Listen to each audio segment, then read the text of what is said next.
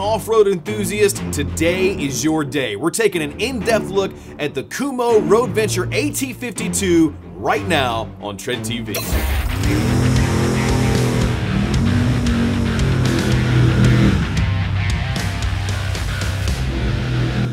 So we're here today breaking down the AT52, and who better to help us out than my friend and yours, Adam from Kumho Tire. Adam, thanks for being here with us today.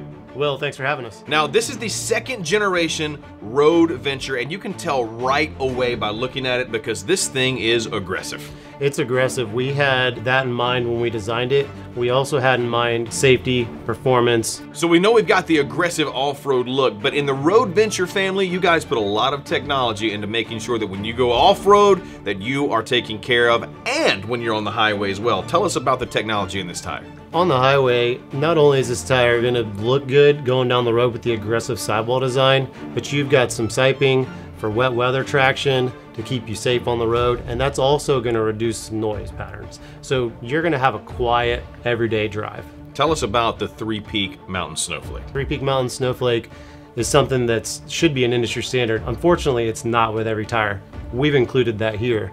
That's going to give you the capability to drive not only in the snow, but mud, through the rain, and gravel and dirt. In just about any condition you can imagine, this tire's got you covered. It's gonna look great, it's gonna perform great. Now let's talk about that warranty. Heavier duty truck, 50,000. If you're towing a little bit heavier load, we got you covered.